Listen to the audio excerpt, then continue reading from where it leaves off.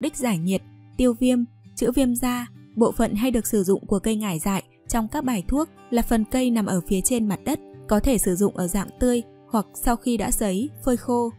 Thứ nhất, điều hòa kinh nguyệt. Tác dụng của cây ngải dại trong điều hòa kinh nguyệt được nhiều người biết đến.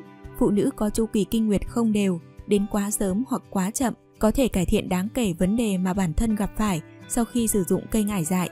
Bạn cần chuẩn bị 10g lá ngải dại khô, rửa sạch cho hết bụi bẩn, sau đó đem sắc chung với 200ml nước cho đến khi chỉ còn lại 50ml thì dừng lại.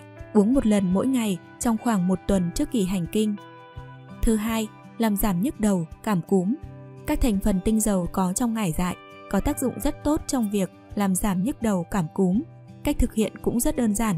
Chỉ cần đem 20g lá ngải dại, 20g lá cúc tần và 10g gừng tươi sắc chung với nhau. Nước thuốc thu được, bạn sử dụng uống khi còn nóng. Sau đó, đắp chăn cho mồ hôi toát ra sẽ thấy dễ chịu hơn rất nhiều. Một số lưu ý khi sử dụng cây ngải dại để hỗ trợ tăng cường sức khỏe, không gặp tác dụng phụ. Thứ nhất, ngải dại chỉ mang tính chất hỗ trợ quá trình điều trị nên không thể thay thế thuốc, dược phẩm mà bác sĩ đã kê đơn. Thứ hai, cần kiên trì sử dụng để nhận thấy sự thay đổi rõ rệt, tác dụng của ngải dại. Thứ ba, vì là loại cây mọc hoang nên khi thu hái cần chọn những cây mọc ở các khu vực sạch sẽ, không hóa chất để hạn chế tình trạng cây bị nhiễm khuẩn, bụi bẩn và các chất độc hại.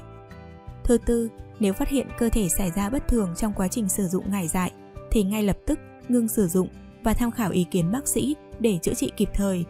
Hãy đăng ký kênh để biết thêm nhiều mẹo hơn bạn nhé!